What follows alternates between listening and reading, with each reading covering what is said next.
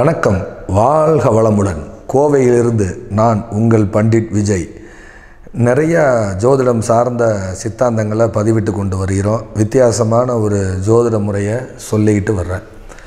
இப்போ ஒரு வீட்டில் தொடர்ந்து வருமான தடை இருக்கிறவங்க அதாவது பார்த்திங்கன்னா ஒரு நாலு நாள் வருமானம் இருக்கும் ரெண்டு நாள் வருமானம் இருக்காது. அப்புறம் ஒரு ஒரு வா இல்லைன்னா ஒரு வாரம் கண்டினியூவாக வருமானம் இருக்கும். ஒரு பத்து நாளைக்கு வருமானமே இருக்காது. இவங்களுக்கு என்ன பரிகாரம் அப்படின்னு கேட்டிங்கன்னா ரெண்டு செம்பு வீட்டில் பூஜை ரூமில் வாங்கி வச்சுக்கிறணும் காப்பர் செம்பு. நம்ம அன்றாட தேவைகள் போக மிச்சமாகக்கூடிய காயின்ஸ் அதில் சேர்த்துக்கிட்டு வரணும். ஒரு செம்பில் சேர்த்துக்கிட்டு வரணும். ஒரு ரம் ஒரு செம்பு ஃபில்லான ஆன உடனேயே இந்த செம்பு காயின்ஸ் எடுத்து இன்னொரு செம்பில் கொட்டிடணும்.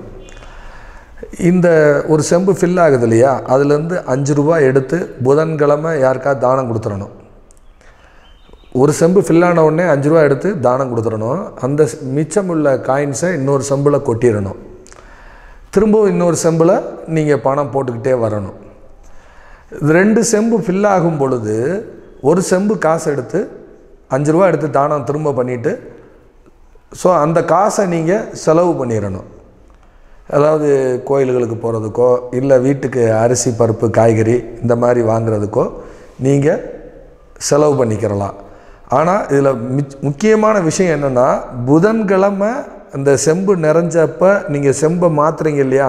இந்த செம்புலேருந்து காசை இன்னொரு செம்புக்கு மாற்றும் பொழுது அஞ்சு ரூபாய் எடுத்து யாருக்கா தானம் கொடுத்துடணும். அதே மாதிரி ரெண்டு செம்பும் ஃபில் ஆகும் பொழுது ரெண்டு செம்புமே ஃபில் ஆகும் பொழுது ஒரு செம்பை எடுத்து நீங்கள் செலவு பண்ணும் போதும் அதிலிருந்து அஞ்சு ரூபா எடுத்து நீங்கள் யாருக்கா தானம் கொடுக்கணும். இது மாதிரி நீங்கள் செஞ்சு பாருங்கள் ஒவ்வொரு மாதமும் மளிகை பொருள் வாங்கும் பொழுது உப்பு முதல்ல வாங்குங்க. உப்பு தானம் யாருக்கும் கொடுக்காதீங்க. அப்படி கொடுத்தீங்கன்னா உங்கள் வீட்டில் இருக்கக்கூடிய மகாலட்சுமி வேறு வீட்டுக்கு போயிடும் இதில் இந்த தென் மாவட்டங்களில் இந்த மதுரை இந்த விருதுநகர் சிவகாசி சாத்தூர் கோவில்பட்டி இந்த பகுதிகளில் யார் கிரகப்பிரவேசம் செய்தாலும் அதாவது கோவை கோவையில் சொல்கிறதா இருந்தால் புண்ணியோஜனை அப்படின்னு சொல்லுவாங்க. இந்த நிகழ்வு நடக்கக்கூடிய காலத்தில் தென் மாவட்டங்களில் நிறைய வீட்டில் உப்பு மஞ்சள் தானம் எடுத்துகிட்டு போவாங்க. அது ஒரு தப்பான ஒரு விஷயம்.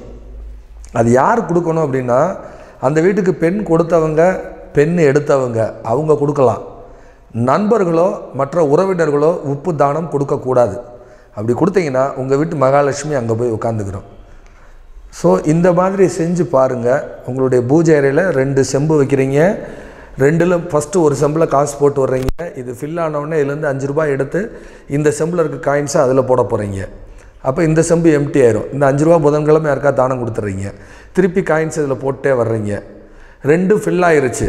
ஃபில் ஆன உடனே ஒன்றை எடுத்து வீட்டுக்கு செ- செலவு பண்ணிடுங்க அஞ்சு ரூபா தானம் கொடுத்துட்டு வீட்டுக்கு செலவு பண்ணுங்கள் இப்படியே ரொட்டீனாக பண்ணுங்கள் ஆனால் நிச்சயம் புதன்கிழமை புதன்கிழமை அந்த காசு ரொம்பும் பொழுது செம்பை மாற்றும் பொழுது அஞ்சு ரூபா யாருக்கா தானம் கொடுப்பது அவசியம் அவசியம். இது செஞ்சு பாருங்கள் உங்களுடைய வருமானம் ரொட்டீனாக இருக்கும்.